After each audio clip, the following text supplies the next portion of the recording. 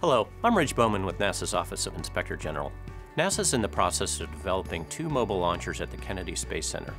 Critical equipment that will serve as the ground structure to launch the agency's new rocket known as the Space Launch System, or SLS. SLS is a two-stage heavy lift rocket that will carry the Orion crew capsule into space. With the advent of NASA's accelerated lunar program known as Artemis, the mobile launcher has required large-scale modifications to support early versions of the SLS rocket. At the same time, agency officials are developing a second mobile launcher at a cost of more than $485 million for future, larger SLS variants. After nearly a decade of development, the first mobile launcher is nearing completion. We found that NASA has greatly exceeded its cost and schedule targets in developing Mobile Launcher 1.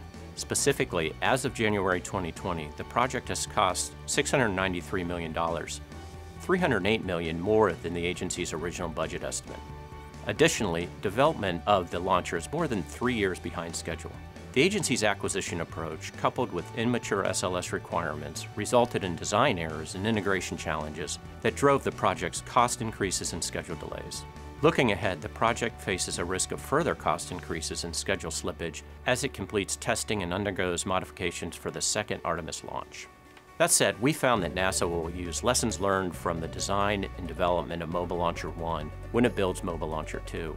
Specifically, NASA is utilizing a single contract to both design and build the second mobile launcher. The agency believes this will address a majority of the communication and integration issues that occurred with Mobile Launcher 1. Despite these positive steps, we found that NASA is missing opportunities to improve project management and oversight of Mobile Launcher 2. First, the project schedule is risky due to anticipated changes in vehicle load requirements for the Orion crew capsule and later variations of the SLS. Second, the contract utilizes award fees that may limit the agency's ability to effectively motivate the contractor to control costs. Finally, NASA's approach to managing the project lacks key project management requirements that would improve oversight and transparency.